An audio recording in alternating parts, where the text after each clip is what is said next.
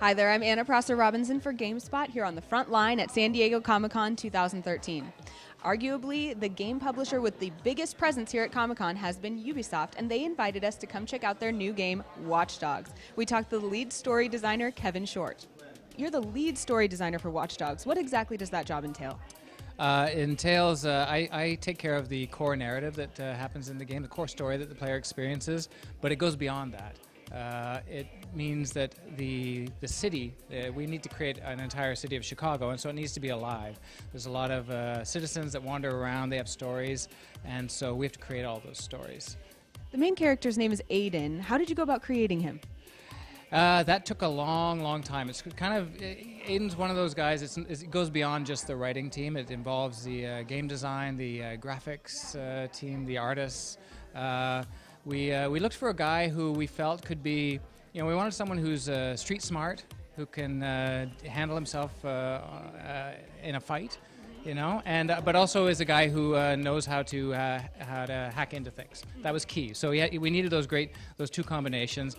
the cap I think was a really important part because he's a guy he's a vigilante, and the cap was one of those signatures where he uh, he's disguised, but he's not disguised. There was a there was a funny moment where we were trying to figure out, well, what could we do with him? How could we get him to be, uh, you know, what what could we do for Aiden to give him a, you know, uh, that fits who he is?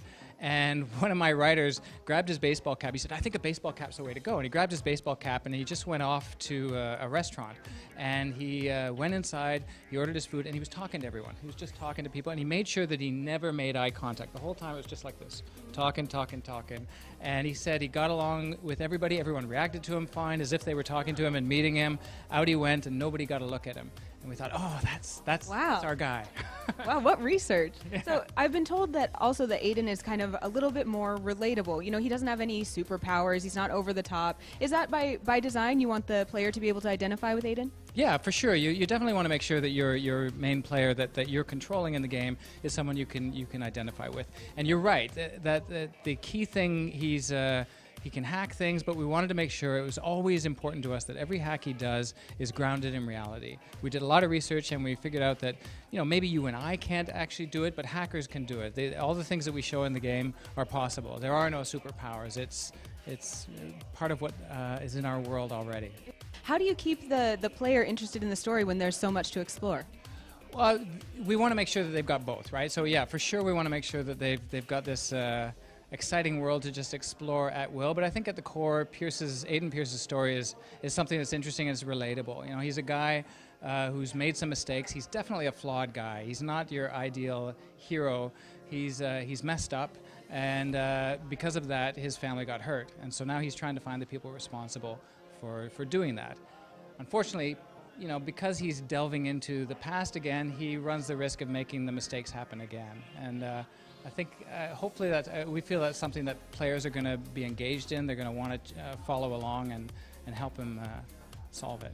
Well, recently on everyone's mind has been this NSA surveillance scandal, and that, that certainly has some interesting parallels to the game. Has that been been part of the influence for the game, or has it? I mean, are there parallels to draw even? Uh, it's in, yeah, for sure. I think the parallels are, are interesting, but you know, um, ours is a, certainly a different system. We're we're CTOS, and uh, um, I think I'm hoping that players are going to put down the controls when they're done, pick up their cell phones, and then just kind of think about, okay, what, everything I saw in the game, and here's my cell phone, and what does that mean for my privacy?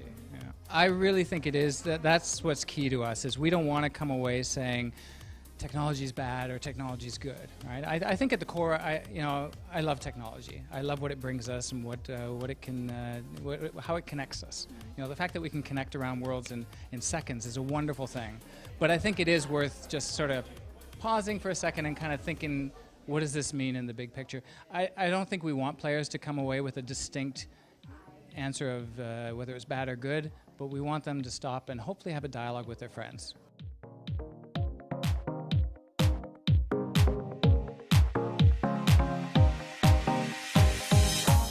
Are you excited for Watch Dogs? Let us know. Mention me in your tweet at Anna Prosser and use the hashtag SDCC, and you might win a pair of Hammerhead earbuds from Razer.